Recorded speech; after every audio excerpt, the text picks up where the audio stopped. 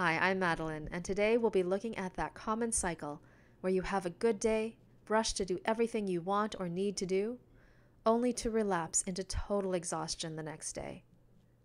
In my practice as a Japanese holistic osteopath, there have been clients with major differences in the lengths of their recovery times. All other things being equal, the biggest factor that slowed and even stopped a client's ability to heal was when they repeatedly put too much strain on their injury while it was still healing. We've also seen top ranked Olympic athletes crumble under the intense mental pressure of the Olympic Games.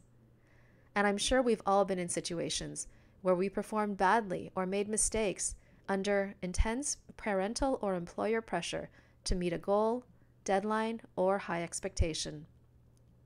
It's the same with our bodies. Our bodies need us to be gentle with them while they are healing. Whether mental or physical, anything that puts a strain on our bodies makes it harder to heal. Pushing or forcing our bodies to perform won't speed up our recovery.